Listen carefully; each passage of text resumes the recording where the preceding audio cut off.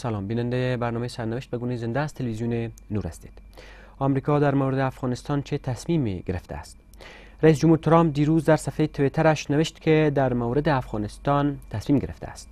این پیام پس از نشست کام دوید نوشته شد که در آن مقامات اداره رئیس جمهور ترامپ با او در مورد استراتژی این کشور در مورد افغانستان و کشورهای جنوب آسیا بحث و گفتگو داشتند. بنا به گزارش رسانه های این کشور در این نشست روی چند گزینه برای اتخاذ سیاست در قبال افغانستان بحث و گفتگو شده است که یکیان حفظ همین سطح نیروهای فعلی در افغانستان و تمرکز عملیات ها در برابر دهشت افکنی و افزایش حملات هوایی. هواپیماهای بدون سرنشین بوده است همچنان گزارش شده است که مقامات اداره رئیس جمهور ترامپ در نشست کام دوید از افزایش نیرو در افغانستان حمایت کردند در همین این در حالی است که استیفن بنن مشاور استراتژیست مشاور و استراتژیست ارشد رئیس جمهوری آمریکا که مخالف افزایش نیرو به افغانستان بود از مقامش برکنار شد. اما هنوز این تصمیم ترامپ در خصوص افغانستان اعلام نشده است. و سخنگوی کاخ سفید اعلام کرد که رئیس جمهور ترامپ در حال مطالعه و در نظر گرفتن گزینه های خود است و افزود که در یک زمان مناسب این استراتژی اعلام می شود در همین حال گزارش شده است که مقامات آمریکا در خصوص تغییر سیاست کشورشان در قبال افغانستان اختلاف نظر داشتند. پیرامون این موضوع بحث داریم با آقایان سید عبدالمقدم امین استاد دانشگاه و بسم الله رنجبر آگاه روابط بین الملل. سپاسگزارم از حضورتان. آقای رنجبر پرسش نخواست از شما چه تصمیم گرفته شده باشه و چرا این همه طول می‌کشه این بحث؟ به نام خدا و سلام خدمت شما خدمت همکار حاضر در بحث و بیننده خوب تلویزیون. من هرچند در یک از برنامه های دیگه هم از طریق برنامه شما مطرح کرده بودم که آقای ترامپ و دولت مردان ایالات متحده آمریکا دارن قضیه افغانستان را به صورت خیلی محتاطانه و نکته سنجانه بررسی می‌کنند و با توجه به اینکه قرار است که استراتژی جدید افغانستان با ابعاد روی کردهای منطقه‌ای با ابعاد منطقه‌ای خودش اعلام شود که یک سلسله برنامه های منطقه‌ای هم که ایالات متحده آمریکا داره در قالب می استراتژی مدون بالاخره اعلام خواهد شد. بنابراین یک سلسله وقت نیاز داشتن که تا که او خب برنامه نوشته که تصمیم گرفته اما اعلام نشده. برای چه اعلام نشده؟ فکر می‌کنید چه تصمیم گرفته شده باشه؟ من فکر می‌کنم خب خیلی سخت است که او برنامه های پشت پرده آمریکا رو من حالا به صورت دقیق برای چرا اعلام نشده اصلا؟ باور من این هست که تا حال با توجه به اختلافات را که ایالات متحده آمریکا با پاکستان داشت در قضیه افغانستان باور من این هست که یک سلسله گفتگوها و رایزنی ها با پاکستان باعث شد که این استراتژی تا حال اعلام نشود و به تاخیر بیفته. به دلیل که پاکستان همچنان از اهمیت استراتژیک با برای امریکا برخوردار هست و صرف اختلاف روی پاکستان یا نه که شامل مواردی هم در خصوص افغانستان گزینه های افزایش نیرو یا حفظ این سطح نیرو یا هم که خروج. من فکر می‌کنم که کم کردن و یا زیاد کردن نیروهای امنیتی زیاد برای ایالات متحده آمریکا اما کسانی مثل که مشاور ارشد ارشدش استراتژی آقای استیون بنن. او که مخالف بود و اون برکنارم شده. خب در این شک نیست که اختلاف نظرها وجود داره در در امو سطح تصمیم گیرندگان ایالات متحده آمریکا ولی تصمیم نهایی را در قسمت اعلام استراتژی آمریکا در افغانستان آقای ترامپ می‌گیره که ترامپ هم قبلا امی صلاحیت خودش را تفویض کرده بود به وزیر دفاع آقای ماتیس و ما فکر نمی کنیم که اختلاف نظرها به او حد بوده باشه که مانع اعلام استراتژی جدید آمریکا در خب برای افغانستان نوشته, نوشته که ما تصمیم گرفتیم اما اعلام نشده برای چی؟ خب امی هم باور من این هست که یک یک حرکت تاکتیکی هست. یک یعنی تاکتیکی خب به دلیل زی شما میگن ممکن تصمیم گرفته نشده باشه اصلا هنوز اتخاذ نشده باشه روی امکان داره. باور من این هست که بدون شک توقعات وجود داشت که توقع می‌رفت که زودتر این استراتژی اعلام شود. ولی رایزنی ها طول کشید. اختلاف نظرها هم با پاکستان باعث شد که یک مقداری روی موضوع بحث های جدی صورت بگیره و در حال حاضر پاکستان خیلی مهم هست برای ایالات متحده آمریکا. اگر پاکستان در اردوگاه روسیه به دیگر راهی برای آمریکا وجود نداره که تامین روابط اگر ولی اگر ما نتیجه بگیریم از اینکه اعلام نشده ممکن یعنی تصمیم گرفته نشده باشه خب برای چه چنین اظهار میشه که ما خب تصمیم گرفتیم اما از تصمیمش کسی خبر نیست و اونا اعلام نمی‌کنن.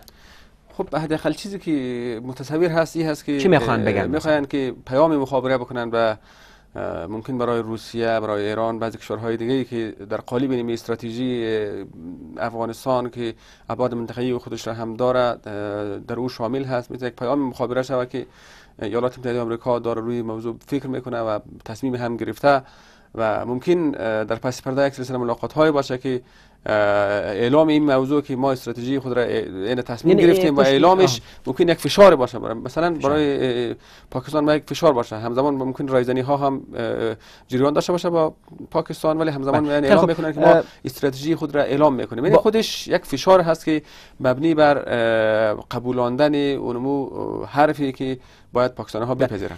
باور بسیاری است که هرچه تاخیر ما داشته باشیم در اعلام استراتژی آمریکا در قبال افغانستان با اون مقدار زیان داره. چی زیانی داره؟ من موافق نیستم در این قسمت که تاخیر خب اونا میگن که مثلا گروه حراس افکن تشکیل میشه کشور عامی گروه حراس افکن اونا جرأت می‌گیرن. یعنی اینی اینمی وضع موجود. تاخیر در اعلام استراتژی آمریکا و تصمیم گیری این نشان میده که آمریکا دست پاچه است. آمریکا مثلا نگران است. خب گروه های تروریستی هم گروه های تروریستی یک دست نیستن. در حال حاضر شما خیلی خوب می‌دانید که گروه های تروریستی هم حتی در دو جبهه متخاصم و متقابل رو هم می جنگن و یک بخشش ممکن که از طریق بعضی کشورهای رقیب ایالات متحده آمریکا حمایت میشن تمویل میشن تجهیز میشن. از اون نقطه نظر در این شک نیست که اونا اگر این استراتژی آمریکا اعلام شود یا به تاخیر انداخته شود یا حتی اگر اعلام نشه او حمایت ها وجود داره و به خاطر تامین منافع که به ضرر است. شما میگن به ضرر نیست. اونایی که میگن به ضرر است میگن خب گروه راست افغان تشجیع میشن. خب حداقل جرأت می‌گیرن که خب آمریکا با چالش مواجه است آمریکا دست پاچه است آمریکا از این مسائل. حداقل ضررش این هست که افکار عامه در افغانستان نگران هستند نگران ازی هستند که ممکنه خب حتی یک از گزینه ها گزینه خروج کامل بود. خروج کامل نیروهای امنیتی که قبلا مطرح شده بود که ممکن نیروهای امنیتی ایالات متحده آمریکا از افغانستان به گونه کامل اخراج شود و جنگ افغانستان سپرده شود این این مسائل این مسائل امنیتی. این مسائل باور است که تاخیرش و سوال برانگیز بودنش پیش افکار عمومی و دیگرا برای طالبا جرأت میده. شما میگین که نه او تو نیست. دلیلتون چی است؟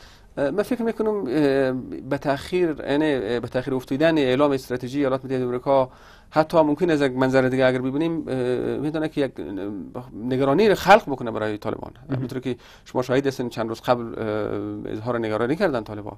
گفتن اگر اما گفتنم که آمریکا دست پاچه شده امی که تا این حال سیاست اعلام نشده و این معناست که اینا شکست خوردن و باید شکستشون بپذیرن.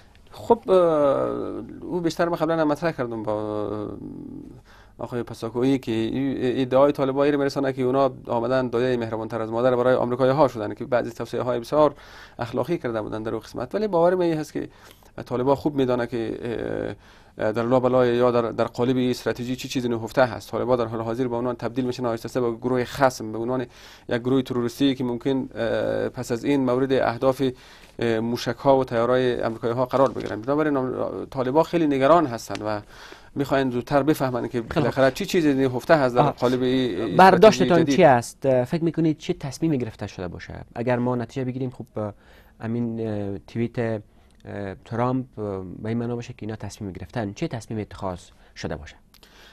باور من این هست که همونطور که قبلا هم جنرال نیکلسون مطرح کرده بود و همچنین جنرالان مطرح آمریکایی گفته بودن که در حال حاضر در افغانستان ما نیازمند فرستادن نیروهای بیشتری در افغانستان هستیم. باور من هست که ممکن سه یا پنج هزار سرباز افزوده شود در جمع نیروهای جنگی آمریکایی که اونا هم نقشش قبلا واضح شده بود که اینا نقش جنگی ندارن بیشتر نقش آموزشی دارن و همچنان در قسمت حملات هوایی اینا کار خواهند کرد. باوری من هست که حداقل به خاطر بلند بردن مورال نیروهای امنیتی افغانستان و نیروهای امنیتی آمریکایی که در اینجا مصروف جنگ هستن هم اگر شده ممکن یک چند هزار سرباز در افغانستان افزوده شود و مهمتر از افزودن سرباز و یا نه افزودن سرباز اون روی کرد امنیتی استراتژی هست که تا حال اعلام نشده. سپاسگزارم آقای امین. چرا این همه اعلام استراتژی آمریکا در قبال افغانستان زمانگیر شده؟ فکر می‌کنید چه چیزی مورد بحث است؟ چه چیز مورد مناقشه است؟ بسم الله الرحمن الرحیم عرض در خدمت شما و مهمان گرامی شنوندگان محترم تلویزیون خب جنگ افغانستان جنگ امریکا خیلی طولانی شد اما قسمی که اتحاد جماهیر شوروی با یک دیدی با یک برنامه به خصوصی با یک اطلاعاتی که از افغانستان داشت اطلاعاتی را که دموکراتیک خلق برای روس ها و برای اتحاد جماهیر شوروی دیروز داده بودند با وجودی که خودشان معلومات کافی داشتن بعدا وارد افغانستان میشن که تا که فکر کنن که به اهداف بلندپایه خود می‌رسن. ولی بعد می‌بینیم که جا زمین گیر میشه و نهایتا به یک توافقی با امریکا دوباره افغانستان بعد از 14 سال ترک میگن امریکایی هم بخوایم نخواهیم در جنگ زمینگیر شدن. یعنی اشتباه کردن از اشتباهات شوروی دیروز اینا نتانستن یک درسی بگیرن. برای فعلا نظر می است که اینها راهی را راهی را جستجو می‌کنه که چگونه افغانستان ترک کنن و به عنوان شکست ترکشان محاسبه نشود. الان فعلا در چند دیدگاه های متفاوتی وجود داره در قبال افغانستان. همچنان در رابطه با پاکستان. پاکستان از جمله یک دوستی استراتژیک و یک پیمان استراتژیکی امریکا بوده و هست. ولی باز می‌بینیم که نظام گرای از اینا دیدگاه متفاوتی در رابطه با پاکستان دارند. در رابطه مثلا وقت زمانی که امریکا وارد افغانستان شد تنها نبود. یک دید جهانی بود یک تشریک منطقوی بود.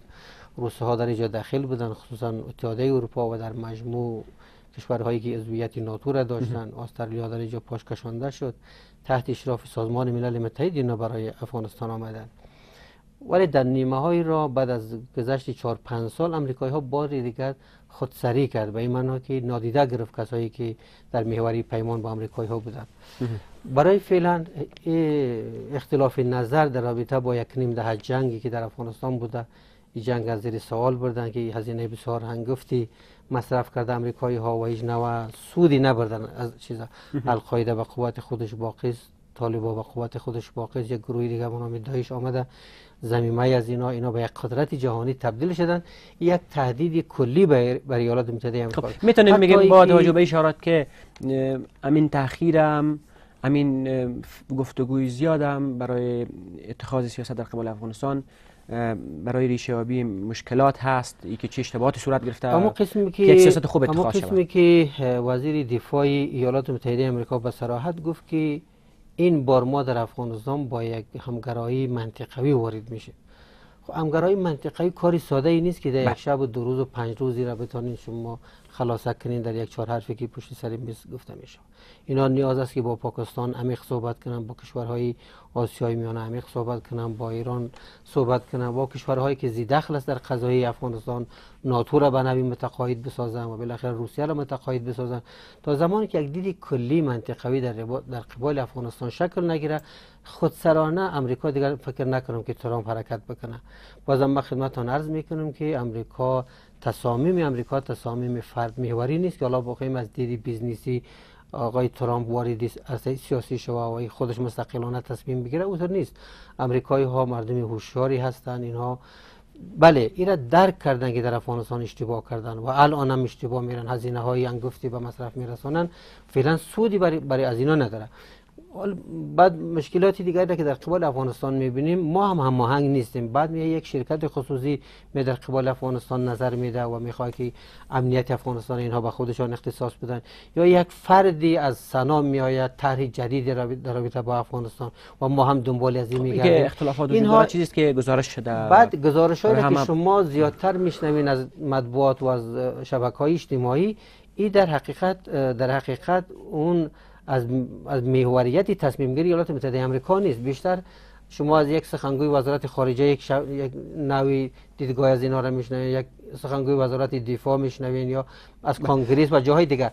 در در اونجا هم چون اونجا افکار سازی می‌کنن حالا شما وقتی که مستقیما نتونه امریکایی ها خودشان از یک از یک آدرس رسمی واردی افکار عامه شوند از یک طریقی از یک ژورنالیست از طریق یک روزنامه از طریق یک یک شبکه اجتماعی یک حرفی را یک کاری را یک برنامه را پخش می‌کنن تا اینکه انگیزه از را ببینن تا یک عکس یعنی ببینن ببینن که کدام سمت سو می‌کشه؟ افکار سازی می‌کنن. در رابطه با قضای افغانستان که امروز شش ماست که دنبال پرونده افغانستان بالای میز آقای ترامپ است دو یا سه جلسه ایم در رابطه اقتصادی اختصاصی در رابطه با قضای افغانستان گرفتن. ما متأکد هستیم که برای از اونا موضوع حل شده است. خیلی خوب. تنها دیدگاه تفاوت دیدگاه در تصمیم گیری های جمعی وجود داره. چون باز می‌بینید که کانگریس جنگ می‌خواد ادامه بده. استراتژیست های قصر سفید در مجموع برای ادامه جنگ و ادامه حضور امریکا کاملا مخالف هستند. خودی ترامپ یکش استیو بنن که استفاده داده. کسی خب که بله. مخالف افزایش خب استفاده از اون به این معنا نبود که کاملا در رابطه با قضیه افغانستان بوده. اینها کاملا با استراتژیست های قصر سفید کاملا با دیدگاه نظامیگران متفاوت است. یعنی اینها نمی‌خوان که چون آقای ترامپ هم بیشتر چون صلاحیت به وزیر دفاع داد در قضایای شرق میانم وزیر دفاع هم صلاحیت بسیار بالایی داد در قبال افغانستان به هر اندازه که نیرو اگر بفرسته وزیر دفاع این صلاحیت از از دید ترامپ برای شرق میانه و برای افغانستان داره. استراتژیست های قصر سفید کلا مخالف این صلاحیت برای نظامی است. هدف سر عزیز که امریکایی ها اینطور نیست که اینا در قبال افغانستان الان تصمیمشان عجولانه باشه بیا هر چی که اوباما کرد و چی که گذشته بود و به همون شکل.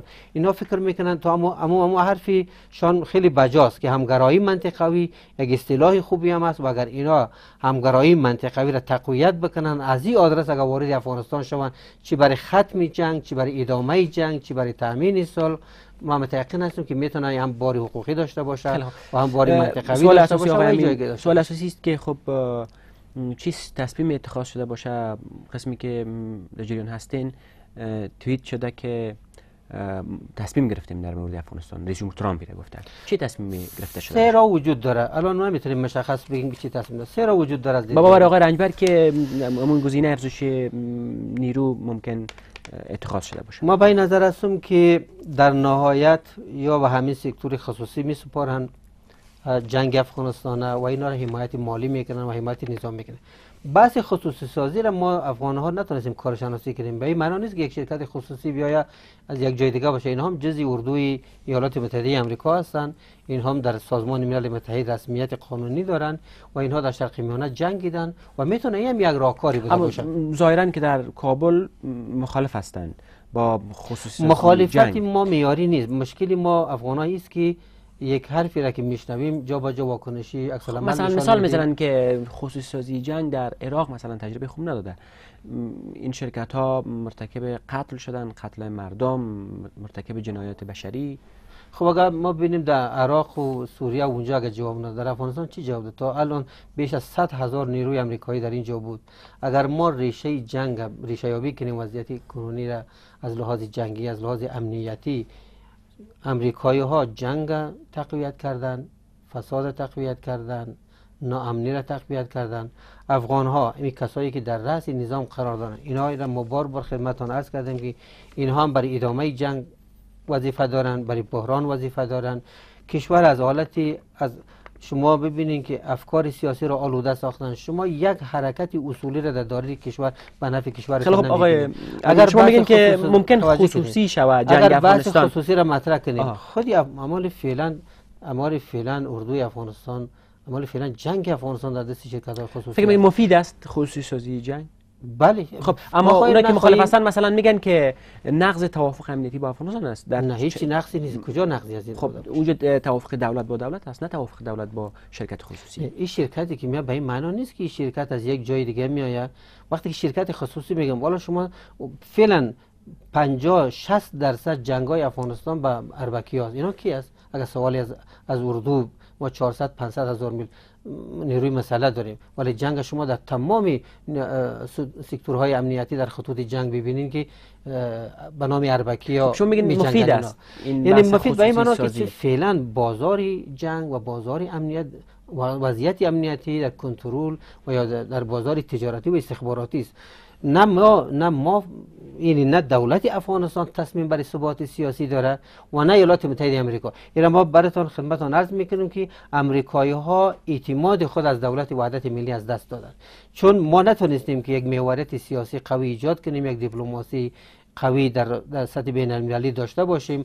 ما چالش هایی که فرارای نظام هست از بین ببریم. فاصله هایی که در میان مردم و دولت هست اینا را از بین ببریم. ما مردم زمینه را طوری مساعد کردیم که جامعه یعنی بیشتری برای برای مخالفین قرار گرفته بخوایم نخوایم امروز طالبا در افکار سنتی مردم جای دارن. ما اگر به واقعیت های داخل کشور ببینیم. یعنی ما نتونستیم که افکار مردم رو تغییر بدیم. ما نتونستیم که در زندگی مردم تغییر بیاریم خب یعنی به صورت قطع فعلا امریکایی هم از ما از ما اعتماد شده اعتمادش گرفته است از ما. ما بخوام کوتاه پاسخ بگیرم. شما میگین که ممکن این تصمیم خصوصی سازی جنگ یا بخشی از جنگ باشه قسمت یک بخش همی در رابطه با ادامه جنگ. اگر بخواد که خوب خصوصی سازی هم نشوه جنگ به می حالت تا چیزه تا زمانی که انتخابات برگزار میشه با همیشه و شاید یک هزار یا دو هزار سربازی دیگه وارد افغانستان شود که اینها اینها مسئولیت جنگی نداشته باشن. حالا شاید حمایت هوایی بکنن آموزشی داشته ولی بحث اصلی به باور شما که بحث خصوصی خواهد بود. در آخرین تحلیل بحث بحث خصوصی سازی است.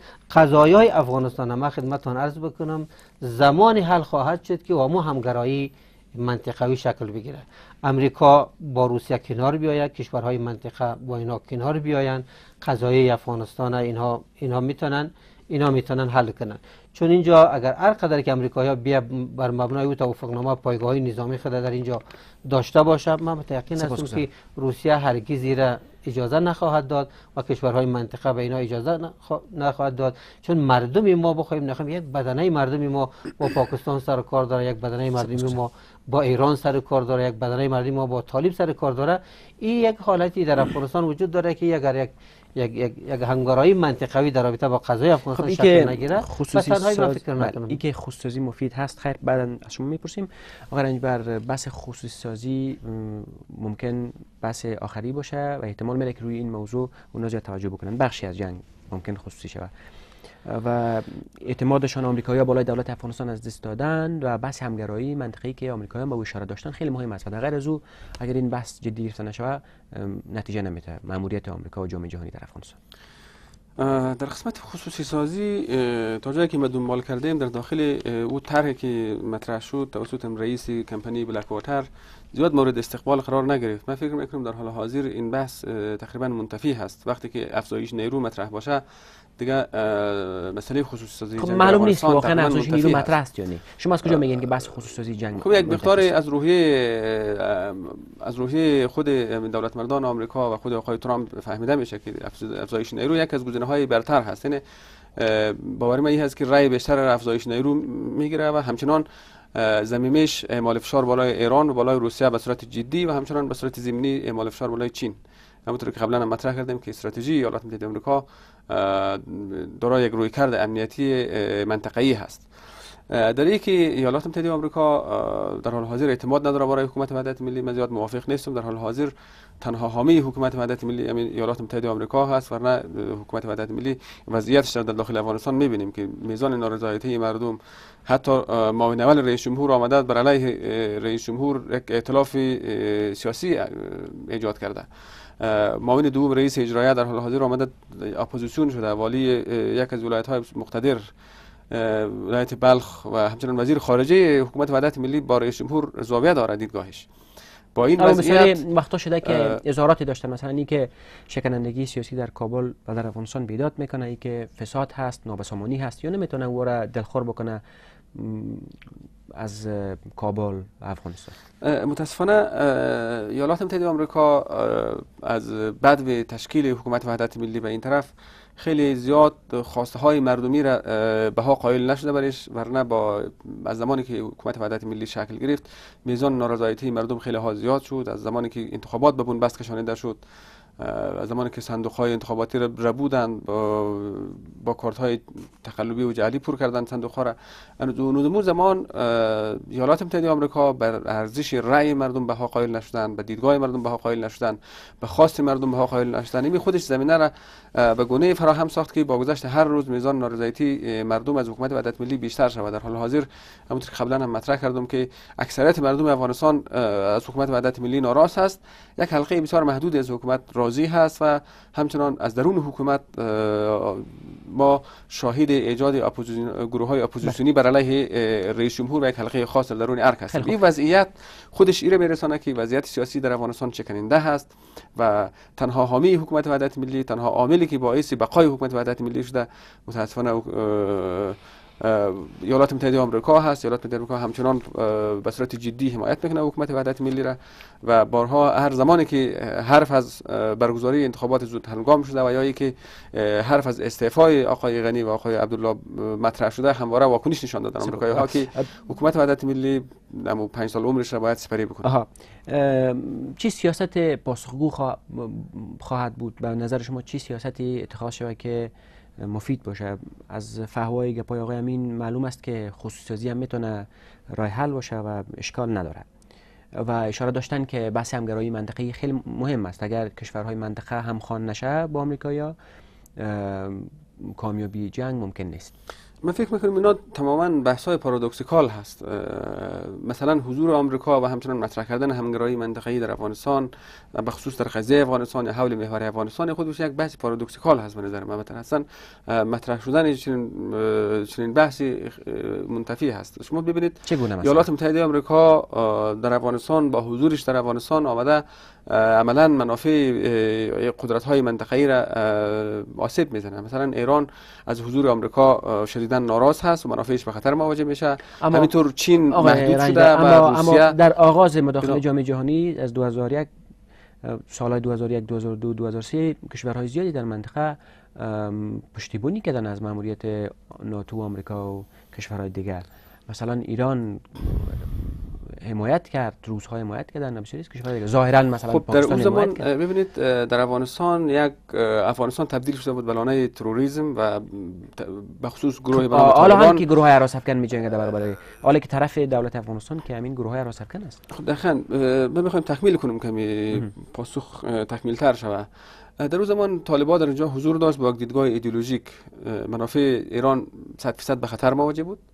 و همچنان پیشروی هایی که به طرف شمال افغانستان داشت کشورهای آسیای مرکزی احساس خطر می‌کردند و روس ها هم به این باور بودند که ممکن ای با گسترش خشونت های مذهبی اسلامی کشورهای آسیای مرکزی متاثر شود از وضعیت که در افغانستان بود. با متاثر شدن کشورهای آسیای مرکزی به مسابقه حیات خلوت روسیه پنداشته میشه یا دهلیز روسیه پنداشته میشه اونا احساس خطر می‌کردن روسیه و ایران متاسفانه اینا فکر می‌کردن که ایالات متحده آمریکا آمده با تروریسم در افغانستان می جنگه و تروریسم را محو می‌کنه و خودشان هم خودش را کنار کشیدن فکر می‌کردن که با مصروف کردن ایالات متحده آمریکا خودشان بالاخره از شر تروریسم رهایی پیدا می‌کنن و آمریکا هست که در برابر تروریسم بجنگه اونا فکر نمی‌کردن که ایالات متحده آمریکا با گذشت زمان ممکن در اینجا حضورش دوامدار شود و دوامدار بودن حضورش هم تاثیر که شما این مسئله خودش باعث میشه که همگرایی منطقه‌ای حتی بحثش مطرح میشه شما ببینید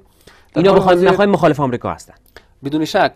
چیزی که اونا می‌خواین مخالف حضور آمریکا خب هستن. اما اونایی که دلیل میارن شما اشاره داشتید که گروه های افغان خب او روز اما دیروز هم وجود داشته سالهایی که اینا موافق بودن چند سال پیش که موافق بودن امروز هم که اونا وجود دارن. شما اشاره داشتید که وقت طالبای ایدئولوژیک فکر می‌کردن. حالا فکر نمی‌کنن حالا که در حاضر یک گروه ایدئولوژیک تر از طالبا آمده در افغانستان. با دیدگاه فراختر با اما قواری است که بین طالبا و داعشی گروه ها فرقی نیست. اینا همهشان ایدئولوژیک هستند داعش خلافت می‌خواد طالبا امارت می‌خواد اینا. ولی تفاوت های جدی مطرح هست. ببینید خواستگاه طالب بیشتر قومی بود. او متنی که طالبان از او برخواست بیشتر قومی بود دیدگاه قومی بود. بالاخره در دورنمای سیاست طالبان هم بیشتر قومی بود و او چیزی را که مثلا ایران و روسیه در اوایل فکر می‌کردن او چیزی نبود. مثلا فراتر از افغانستان جاتر فکر نمی‌کردی خطر هم زیاد وجود نداشت. ببینید شما اصلا فلسفه وجودی داعش در افغانستان یک چیز دیگر هست اینا آمدن که پناه میده مثلا. برای القاعده برای چی پناه میده با اونمو تفکری که داشتن برای القاعده پناه میدن. اگر امروز مثلا توافق می‌کنن طالبا با داعش در مرزا ولنگ و دست یکی می‌کنن جنگ می‌کنن اونمو تفکرات ایدئولوژیک و دیدگاه نزدیکشان ارزشایی که دارن او را نزدیک می‌کنن. من فکر می‌کنم در قضیه میرزا این قضیه خیلی پیچیده هست قضیه خیلی پیچیده و استخباراتی هست. ما نمیشه که در یک بحث تلویزیونی چند دقیقه ابعاد چند چند بعدی بودن مسئله رو در اینجا مطرح بکنیم در قضیه میرزا اولنگ درست من با شما موافق هستم در اونجا قضیه داعش و طالب و حتی بعض گروه های دیگر هم دخیل بودن به یک نحوی. خب در حال حاضر داعش با یک دید فراختر آمده به نام خراسان. آمدن اینجا خب. جایی را که اینا باید فعالیت بکنن برام خراسان خب. هست که اینا فرا افغانستانی هست. فرا افغانستانی بودنش یک مقدار خطرها رو جدی‌تر می‌سازه. هم ایران برای نیست که باید ایرانی ها همکاری بکنن مثلا روس ها باید همکاری بکنن. اگر داعش بتونه خطر جدی از حضور داعش در حراس دارن. خب خطر میگین که بحث پارادوکسیکال است اینجا بخوایم نخوایم مخالف حضور آمریکا است به خاطر هست که اینا فلسفهش مطرح اوکی. داعش در افغانستان هم روسیه می‌دونه هم ایران می‌دونه که از طرف آمریکایی ها طرف آمریکایی ها حمایت میشن. خب از کجا معلوم که حمایت نمیشه؟ رنجبر. نه به صورت خب بحث, بحث, بحث جدی هست. اینا بحث خیلی از روی شده مثلا شما ظاهرا که باور دارین از روی چه اسناد و شواهدی شما میین مثلا واقعیت میگین که پشت داعش آمریکاست شما ببینید در سیاست بیشتر مسائل بیشتر مسائل در سیاست فهمیده میشه گفته نمیشه. شما ببینید که تغییر جغرافی جنگ از جنوب و شرق افغانستان به طرف شمال افغانستان و همچنان آوردن گروه های جنگی که از آسیای میانه آمدن به طرف شمال افغانستان در حاضر حضور جدی دارند در اونجا. این مسائل و همچنان تغییر دیدگاه کشورهای مهمی مثل روسیه و چین حتی چینی که سیاست خارجیش مبتنی بر مسائل اقتصادی هست آهسته آهسته دیدگاهش رو تغییر داده و دیدگاه حتی دیدگاه نظامی هم شامل شده در رو ممکن مثلا اگر خارجیش در قبال ممکن مثلا مخالفت روس ها و ایرانی ها تنها به خاطر حضور نظامی آمریکا در افغانستان باشه. اگر به فرض که هیچ بحث گروه حراستی مطرح نباشه. من فکر نمی کنم خب بالاخره اصلا بودن آمریکایی ها در اینجا وقتی آمریکایی ها در افغانستان حضور داشته باشن حراس ایران و روسیه به خاطر چی هست؟ به خاطر مثلا آوردن گروه های تروریستی مثل گروه داعش آوردن او جنگجویان آسیای مرکزی قفقاز و حتی او گروه های چین که در خب اگر بحث به گروه هم که آقای رنگبر کلا مطرح نباشه تفاوت هایی که بین این کشورها وجود داره مخالفت برانگیز است. تفاوت های ایدئولوژیکی که بین ایرانی ها با آمریکایی ها وجود داره. می‌تونه مثلا اگر حرف منافع ملی هست. حرف منافع ملی هست. ببینید در خاورمیانه ایران یک از رقبای جدی آمریکا هست. و همچنان روسیه.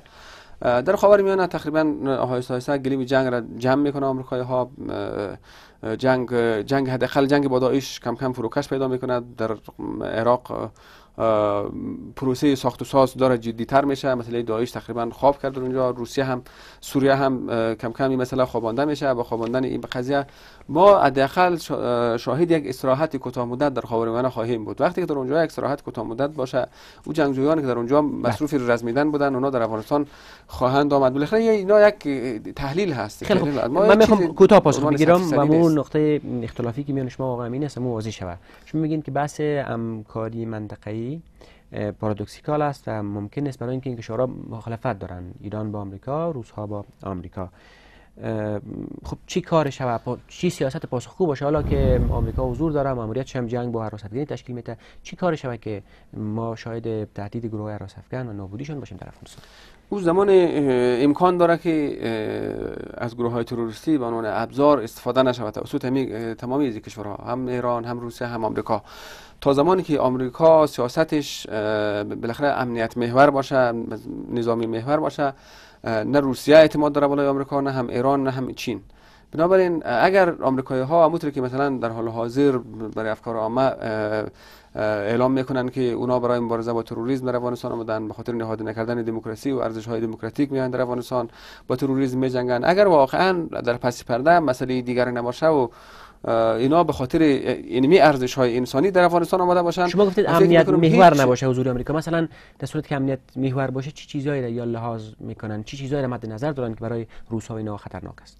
خب همونطور که من قبلا مطرح کردم. آوردن گروه های افراطی در مرزهای افغانستان با یک کشورها برای ضربه زدن و رخ نکردن از طریق مرز, مرز افغانستان با اون کشورها و کشورهایی که مثلا ببین آسیای مرکزی وقتی ناامن شود دیگه برای روسیه چیزی نمیمونه.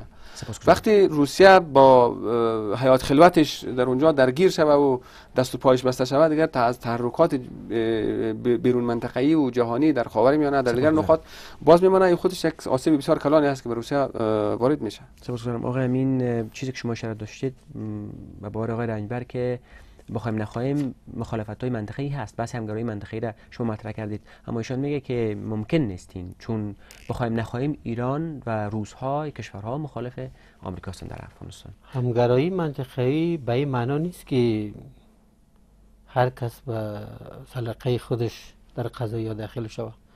شما یک اختلاف ایجاد میشه در یک کشور یا در یک منطقه یا در یک جای. همه اطراف جمع میشن یک راه حلی براش پیشنهاد می‌کنن. خودی توافق نامه بن یک هم یک همگرایی جهانی بود. اما حضور آمریکا منتفی می‌کنه این بحث وقتی آمریکا حضور داشته باشه همگرایی منطقه‌ای به این معنا نیست که ما بگیم که آمریکایی‌ها بیا باداری همه کشورهای منطقه باشه. به این معنا که جایگاه آمریکا مشخص شود. خب این که شما حضورش امنیت محور و نظام محور نباشه با بار رنج خب یکی از گروه وقتی که همکارای منطقه‌ای میگیم اینها در بود اقتصادی در بود امنیتی در حضور امریکا چگونگی حضورش مجموعا اینا صحبت میشه. ببینید در همکارای منطقه یک منطق جمعی به وجود میاد. یک منطقی جمعی به وجود میاد تا هر کس جایگاه خودش درک کنه که ثبات سیاسی در منطقه با وجود بیاد و این تهدیدات از بین بره. در این صورت است که ما می‌تونیم بگیم همکاری منطقه. شما نمی‌تونید که هم با پاکستان بجنگین هم با ایران بجنگین هم با اسرائیل میانه بجنگین با همه کشورهای همسایتون بجنگین فقط با ایالات متحده آمریکا که هزارها کیلومتر از شما فاصله داره تا با اونا کنار بیاین ما مشکلات داخلی ما بیشتر داریم. ما قبلا ما در خدمت خدمتتون عرض کردم که شما نمی‌تونید با پاکستان رقابت بکنید. شما نمی‌تونید با پاکستان بجنگید. شما نمی‌تونید 24 پاکستان فش بگید بین راههایی که شما را نزدیک می‌کنه با پاکستان. گرایش های گرایش هایی که شما رو با هم نزدیک می‌کنن اما یک سری اقتصادی را در روابط افغانستان و پاکستان خیلی کونه و مزمن است. مثلا بحث منازعه تنش های مرزی منازعه تنش های مرزی هم چیزی بسیار بسیار بسیار اختلاف برانگیز نیست. اما خب, خب ببینیم ما خدمت رئیس جمهور افغانستان مثلا رئیس جمهور پیشین افغانستان میگه که میگه مرز رسمی نیست ما یک کشوری بی ثبات هستیم. پختگی سیاسی نداریم. آگاهی سیاسی زیر صفر است. وحدت ملی نداریم. وگرنه قوانین ملی و قوانین بین المللی مرزها را مشخص می‌کنه. هر نوع اختلافی که وجود داره در قوانین تصریح. است یعنی می‌تونه آدم از راههای از راههای مسالمت آمیز قضایی مرزهای مرزی را حل باید بکنه. ما پاکستان مشکلی نداره. ما مشکل با پاکستان داریم. خب اما اما که پاکستان متهم میشه.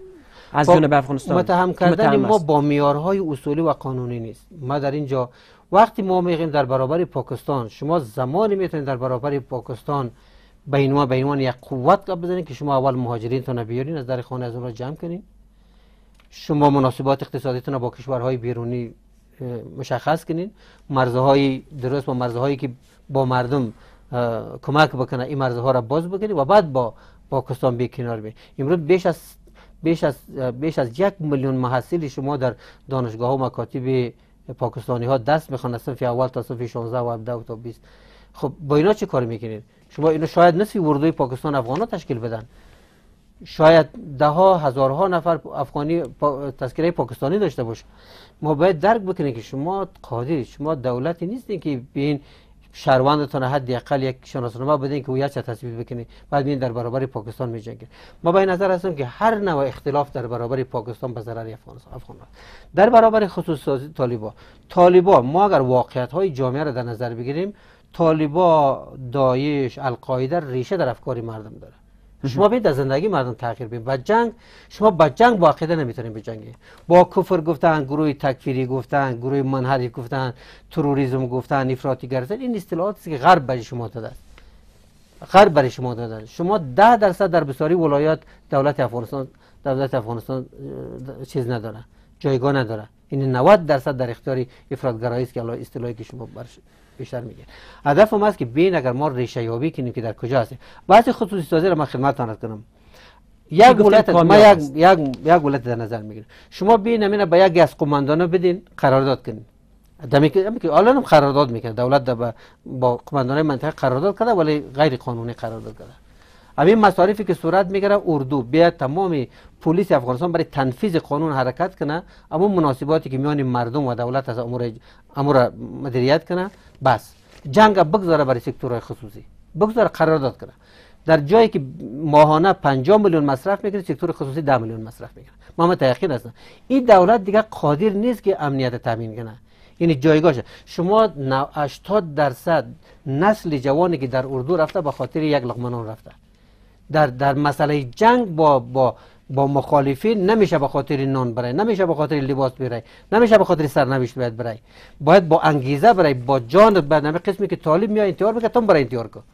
طالب که میاد با دو تا کلاشینکوف در برابر 500 نفر تو میجنگه هم در عمقش برای با بم دستی در در برابرش قرار بگی. مثلا شما می‌بینید در جبهه در جنگ ها می‌بینید که سه نفر طالب کشته میشه و 100 نفر اردو کشته میشه او یک هزار دلار مصرف می‌کنه تو پنجاه هزار دلار یک لک دلار مصرف می‌کنه. او یک میلیون دلار مصرف می‌کنه تو یک میلیارد دلار مصرف می‌کنی. اینها باید ریشه یابی شود که چرا در اینجاست؟ چرا ما در داخل مسجد هم دست هم به هم از بین میریم؟ چرا در قل اردو کلان از بین میریم؟ چرا یک ولسوالی را آنان می‌گیرن تمام امکانات ما را می‌برن از از ولایت قندوز بیشتر از 800 800 میل کلاشین 800 قبضه تنها تنها تفنگچه مکاروف دستگیر کرده است. تمام اطلاعات صفات شمال قندوز به دست مخالفین قرار داد در یک شب.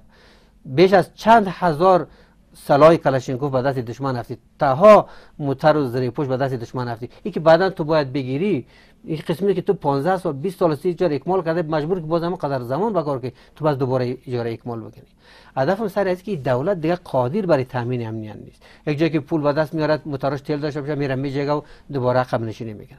ما باید بپذیریم که بحث خصوصی سازی را که امروز امریکایی ها مطرح کردن وقتی که می‌بینن این نظام نظام گفته جناب رنجبر که آمدن نصف حکومت در برابر هم قرار گرفتن در همچی یک نظامی که خودی حکومت در برابر یکدیگرشون قرار بگیرن از این نظام چی می‌تونین اعتمادی داشته باشین که بیا در برابر مخالفین بجنگه؟ مخالفین سنگراتون فروش می‌کنن اینمی اینمی دولت. والله که سنگراف خرید و فروش میشه اطلاعات تبادله میشه پول گرفته میشه شب مخالفین از اینجا با اونجا انتقال میدن از اونجا با اینجا انتقال میدن.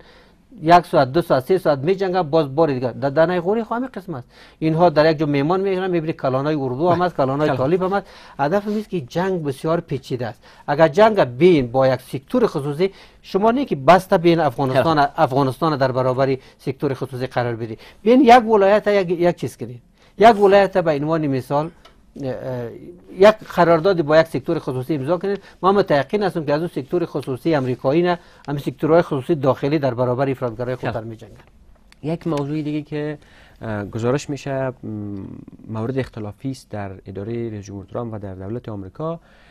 چگونگی تغییر سیاست این کشور در قبال پاکستان هست. چی روی کردی ما از سوی آمریکا در قبال پاکستان شاید خواهیم بود؟ باوری میست که در جوامی کشورهای اسلامی دو کشور امریکایی ها به سادگی از دست نمیدن. یکی عربستان سعودی و یکی پاکستان.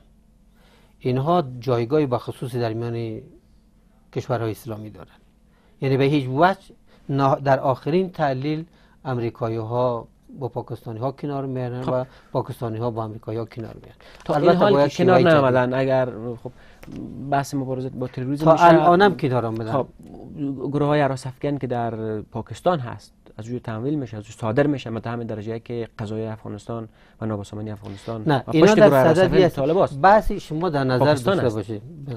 در در در تصامیم ایالات متحده آمریکا در قبال افغانستان بحثی حکومت مقتدر اسلامی مطرح نیست. این در نظر داشته باشید که اگر می بود بعد از شکست اتحاد جماهیر شوروی مجاهدین حمایت می‌کرد و نمیگذاشت که و نمیگذاشت که این شعابات در میان با وجود بیا بالاخره بالاخره ایره به یک قوت کلان بین المللی تبدیل می‌کرد. یعنی دیگه روسیه وجود نداشت. کمونیست ها شکست خوردن مجاهدین فاتحان آمدن داخلش. ولی خب نمیگذاشت که حالا او خود هدفش رقیب دیرینش بود که در برابرش قرار گرفت. ولی اینجا نمیگذاشت که یک یک حکومتی با یک فرهنگ دینی با یک فرهنگ بزرگ اسلامی بیای اینجا اینجا مستقر شود و دیگر نهضت های اسلامی در دیگر کشور شروع شود در برابر حکومت های تحت حمایه امریکا به اصطلاح بجنگن. حتی طالب هم طالب هم به هیچ صورتی نمی‌ذاره که به عنوان یک قوت مقتدر حاکمیت سیاسی را در اختیار داشته باشه. اما جنگ ناامنی را در اختیار داره. گاهی ناامنی هایی که وجود داره می‌تونه به نفع پاکستان هم بوده باشه می‌تونه به نفع ایالات متحده آمریکا باشه. تا اینکه ذهنیت هایی که بریم به طرف سازمان های قسم وضعیت پیچیده است. حالا بله. اگر به فرض ما بگیریم که ماموریت آمریکا و جامعه جهانی در افغانستان قسمی که اعلام می‌کنن باشه مبارزه با حراس افکنی طالب دشمن اینا باشه هرچند که انتقاد وجود داره که برای چی آمریکا مثلا طالب دشمن خودش نمی‌دونه کلیت طالب تروریست ندونه آقا رنجبر اشاره داشت که نمیفهم طالبا خواستگاه قومی داشتن و اشاراتی داشت که با گروه رسفه فرق می‌کنه ممکن دلیلش این باشه. ما خدمتتون نرس کنم که یک مشکلی که ما در افغانستان داریم که مثلا استاد ربانی بدخشی بود. جمعیت اسلامی را تاجیکی میگن این شب هم حکمت گفت که خب آقای خلیلی کم کاری نداره بالاخره هم چهار تا هزار پشت سرش هست. یا آقای دوستم هم چهار تا ازبک پشت سرش هست. حالا بگیم مولای محمد عمر قندهاری بود آمده همه طالب هم بگیم که خب مربوط به می برادرای پشتون است ما به این نظر هستم که نه درست است که قوم استفاده می‌کنن. همیشه در افغانستان از قوم به عنوان یک ابزار و به عنوان یک حربه از این بسیار استفاده های کلان صورت گرفته. دیگه قوم هم استفاده می‌کنن همه اقوام استفاده می‌کنن اما این خدمت رو نرز کنیم که دایش طالب القاعده اینا همه در یک محوریت سیاسی وصل هستند. اینا هیچگاه فقط شیوه های جنگ فرق می‌کنه. کدام محوریت سیاسی؟ اینا محوریت سیاسی که برمیگرده به سازمان اخوان المسلمین. از او حالت دعوت اینا کنار رفتن جنبش های اسلامی با شیوه های مختلف می جنگن اگر شیوه جنگشون اینا تغییر نمی‌دادن اینا از بین می‌رفتن.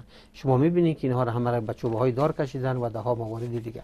اینها بخوای نخوای در افکار عمومی جای دارن در افکار مردم در بستر مردمی جایگاه به خصوص خود دارن. ما اینا را حالا اگر ما هدف ما تحلیل اوضاع سیاسی است حالا اینا خوبن یا خرابن کاری نداریم. بخوای نخوای اینا ریشه در افکار عمومی دارن ریشه در افکار سنتی دارن. داعش خیلی بر خود دولت اسلامی که 40 50 کشور امین دولت افغانستان حکومت وحدت ملی 40 50 کشور که حمایت می‌کنه و تو نتونی در افغانستان در افغانستان تاثیر خود بالای افکار آمد داشته باشی. داعش که به قول برادر ما که از کجا آمده آمده. در 34 ولایت افغانستان در ظرف دو ماه جایگاه خود پیدا می‌کنه. این سوال برانگیز ما بپذیریم که ما مردم از خودمان دور کردیم. این مردم یک بستری برای طالب برای فرادگرایی برای داعش برای همه قرار گرفته است. سپاسگزارم آقای رنجبر. نظر شما خصوصی کامیاب است با اشاراتی که آقای امین داشتن. و به باور شما چه روی کرده ما از سوی آمریکا در قبال پاکستان شاید خواهیم بود. کشوری که متهم اوضاع افغانستان اوضاع بد افغانستان است و پشت طالبان و گروه حراست کرد. من فکر می‌کنم خب چی حالا جنگ اگر به شرکت های امنیتی خصوصی داده شوه یا نشوه هر کدامش بالاخره خوبی ها و بدی های خودش رو داره بالاخره نقاط ضعف و نقاط قوت خودش رو داره. من با یک قسمت صحبت های استاد موافق هستم که اگر یکی خیلی کامیاب است. مصرف کم است. من نمیگم خیلی کامیاب است ولی حداقل در یک زمینه ما موافق هستم با اینا که خصوصی ساختن جنگ یا سپورتن جنگ با با کمپانی های خصوصی امنیتی همین هزینه جنگ رو میاره پایین میاره و یک مقدار چون قرار قراردادی هست وقتی قرارداد منعقد میشه بالاخره اونا به خاطر اینکه خوبتر اما قرارداد رو به سر به سر منزل مقصود برسانن با انگیزه نسبتا خوبتر می جنگن و جنگ از این نقطه نظر مقدار موفق تر است. ولی بالاخره ابعاد دیگه هم داره که ممکن اگر شرکت های امنیتی خصوصی از آمریکا بیاین در اینجا مصروف جنگ شوند بالاخره اونا دیگه برای اونا نه ارزش های حقوق بشری مهم هست نه مثلا افکار عامه مهم هست. ممکن از این نقطه نظر لحاظ نکنن ارزش هایی که باید در جامعه از سوی دیگر مثلا جنگجویان دولتی یا ارتش آمریکا و افغانستان لحاظ میشه ممکن لحاظ نشه بالاخره نقاط قوت و ضعف خودش داره هر دو برنامه و هر دو روی کرد.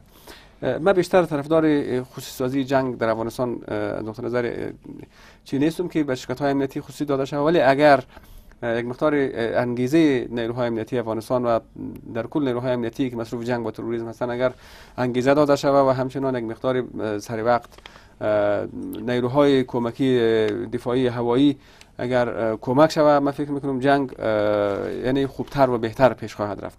در قسمت اینکه آمریکا چگونه با پاکستان کنار خواهد آمد یا نخواهد آمد باور من این هست که من موافق هستم با استاد که پاکستان در سیاست خارجی آمریکا جایگاه استراتژیک داره و اهمیت استراتژیک داره. ایالات متحده آمریکا او مسائل بسیار مثلا پیش افتاده هست. اون مسائلی هست که توسط دولت مردان افغانستان و بعضی اصلاحات بیشتر از طریق هواداران آقای کرزی بیشتر مطرح میشه که پاکستان هیچ متهم می‌کنیم نزد افکار عامه او یک واقعیت است. خب درست است. در اینجا حالا از جمله منفورترین کشورها در افغانستان پنداشته میشه در این که حمایت میو قطع شود ببینید در حال حاضر تنها راهی که آمریکا را به افغانستان وصل می‌کنه راه پاکستان هست.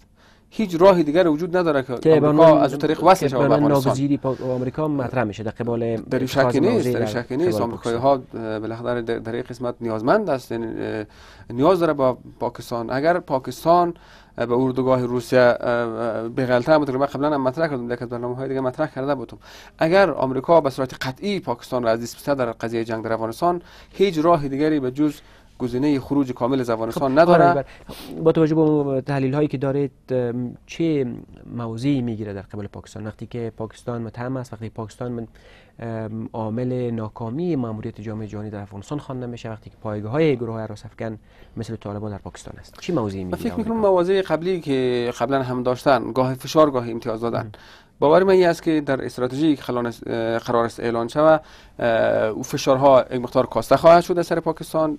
یک مقدار یک سلسله امتیازات مادی برای پاکستان در نظر گرفته خواهد شد و پاکستان همچنان در اردوگاه ایالات متحده آمریکا حفظ خواهد شد. به دلیل اینکه بدون پاکستان در قضیه جنگ در قضیه جنگ افغانستان در قضیه افغانستان هیچ گاهی نمی‌تونه که ایالات متحده آمریکا به پیروزی برسه.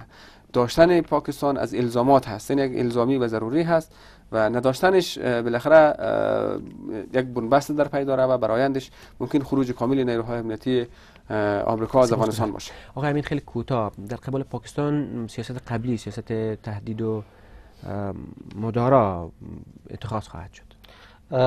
بله ناگزیری داره آمریکا. و پاکستان ها نهایتا اگر متقاعد شوند که در برابر افرادگرایی موقفی ثابت بگیرن در یک بدنه طالبی که تاریخ مصرفشون تیر شده در برابر از اونا قرار می‌گیرن. پاکستان بخوایم نخوایم اولا یک کشوری صنعتی در منطقه و تمام تاجرای پاکستان در مجموع یعنی زکات خود و عشر و چیزهای خود کلا برای مدارس پاکستان میدن. که طالب یعنی پرورش میافه. بله طالب. ایران یک قوت بسیار کلانی در بدنه پاکستان هستن که پاکستانی ها قطعا نمی‌تونن این مدارس مسدود بکنن. از یک طرف در بخش دیگر طالبا را شما ببینید که رهبرای طالبا شما وقتی که به ناروی میرون اینا وقتی که به قطر میرن به چین میرن اینا با تایره پاکستان میرن اینا با پاسپورت پاکستان میرن تمام این رهبرای از اینا بخوایم نخواهیم در ولایت های مختلف پاکستان برای اتخاذ یک سیاست قاطع در قبال پاکستان تهدید پاکستان در آخرین تحلیل بر خدمت راه لوجستیکی تصامیم مشترک امریکا و پاکستان در قبال قضیه است. هیچ گونه پاکستان می‌تونه جدا از امریکا در رابطه با افغانستان تصمیم بگیره. نه امریکا می‌تونه جدا از پاکستان در قبال افغانستان تصمیم بگیره. سپاسگزارم از آقایان سید عبدالمقدم امین استاد دانشگاه و بسم الله رنجبر آگاه رابطه بین الملل. و سپاسگزارم از همراهی شما بینندگان عزیز. خدا نگهدار.